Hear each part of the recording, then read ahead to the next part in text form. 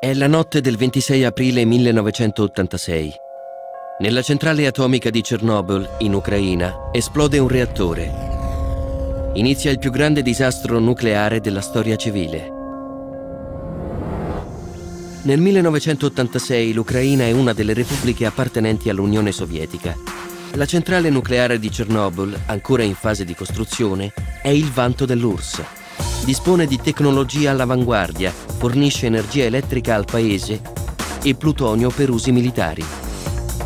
Ma a dispetto della propaganda sovietica, la centrale risente di gravi debolezze strutturali. Il tetto è costruito con materiale non ignifugo e già in passato si sono verificati piccoli incidenti a cui si è subito rimediato. Il 26 aprile 1986 i tecnici della centrale di Chernobyl effettuano azzardati test di sicurezza del reattore 4.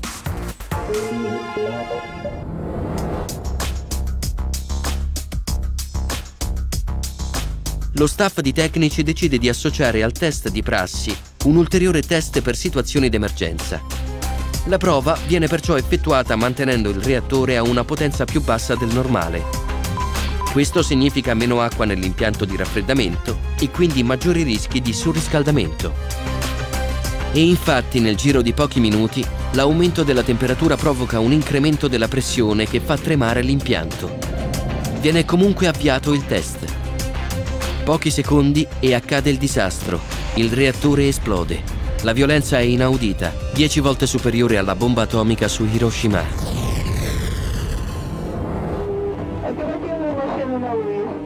I sovietici cercano di occultare la notizia. È la Svezia a lanciare l'allarme. Solo in seguito alle pressioni internazionali le autorità sovietiche rilasciano dichiarazioni. Nel frattempo sull'Europa intera si stendono nubi radioattive. La reticenza dei sovietici causa ritardi nell'evacuazione, che inizia con più di 30 ore di ritardo. La rimozione dei detriti radioattivi viene effettuata da 600.000 persone, militari e civili. Nessuno di loro è informato sulla gravità della situazione e sulle misure cautelari da mantenere.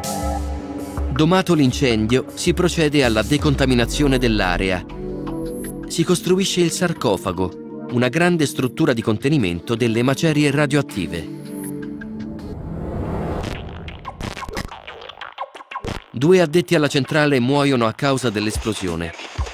28 pompieri moriranno nei mesi seguenti per la prolungata esposizione alle radiazioni. Negli anni successivi, molti subiranno le conseguenze fisiche dell'esposizione alle radiazioni. I danni per l'ambiente e per l'uomo sono suscettibili di diverse stime e interpretazioni. Il Chernobyl Forum, che monitora sistematicamente gli effetti del disastro, parla di 4-5 mila decessi nell'arco dei prossimi 60 anni. Il sarcofago che contiene le macerie è costruito con materiale d'emergenza. È una struttura instabile e già danneggiata. È prevista la costruzione di un nuovo sarcofago, ma la mancanza di fondi ha impedito finora l'inizio dei lavori. Dopo Chernobyl, la ricerca sul nucleare per uso civile subisce un arresto.